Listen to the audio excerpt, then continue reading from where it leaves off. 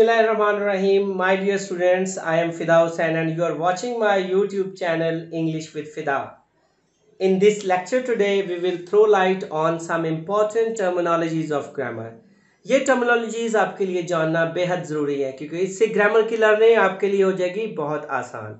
So let start first of all I begin as usual my lecture with the question do you know what is the difference between a word and a phrase What's the difference? Okay, let me tell you what is the difference. Word. That is a combination of letters. For example, C-A-T, cat. Three letters together make a word.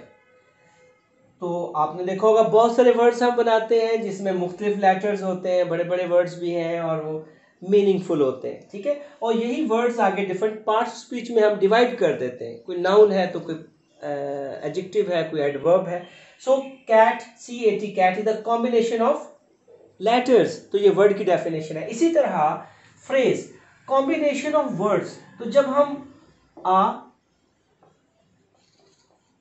Black cat ये मैंने लिखा. अब ये तीन words हैं. I mean this is the combination of words so when combination of words is there that becomes a phrase तो word one word और more than two words is called a phrase giving some sense next stage पे phrase जैसे कि आपको पता है आ black cat example जो मैंने दी तो फ्रेज बेसिकली ये आपके लिए कॉम्बिनेशन ऑफ़ वर्ड्स है। समझ गए? अब इसको सेंटेंस में हम करते हैं। सेंटेंस कैसे बनेगा?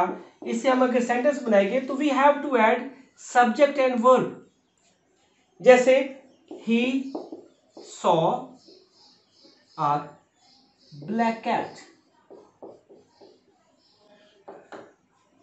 तो स्टूडेंट्स क्या बात समझ आई कि फ्रेज के साथ अगर हम ये दो चीज़ें ऐड कर दें doer of the action subject and his action यानी वर्ब इन दो को किसी भी फ्रेज के साथ अटैच करें इट बिकम्स अ सेंटेंस